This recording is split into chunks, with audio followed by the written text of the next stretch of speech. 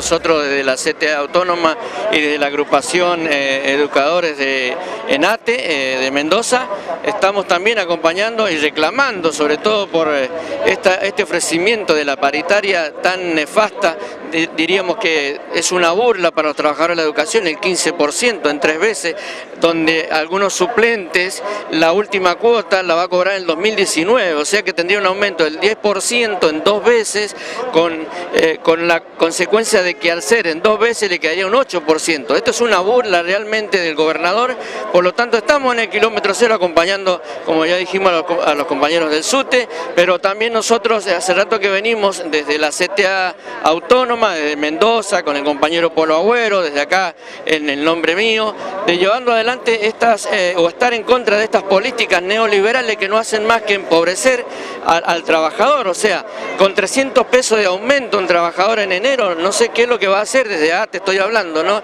Porque la paritaria que firmó ATE es el 15% sin, eh, de la misma manera que, que estamos reclamando nosotros, pero sin cláusula gatilla automático, que creo que eso sería lo conveniente. Mala recuperación del salario del 2017, que ya tenemos una pérdida del 7%, sin contar el 2016, sin contar el 2016. Un bono en negro no nos conforma para nada, por lo tanto nosotros reclamamos y levantamos esta bandera de que la educación, si realmente se ufana el, el gobernador, que yo quisiera que él mostrara un recibo donde el salario de un docente promedio de 20 eh, mil pesos. Las condiciones de edilicia de todas las escuelas es muy mala, es muy mala. Hay lugares que apenas comienza a gotear, hay que irse de la escuela porque hay problemas con la electricidad, hay problemas con los baños, hay problemas con con todo lo que puede haber en una escuela que realmente no estamos en condiciones de comenzar las clases. O sea, y la lucha nosotros la vamos a seguir en la calle y creo que hay ahora hay un cuarto intermedio en la paritaria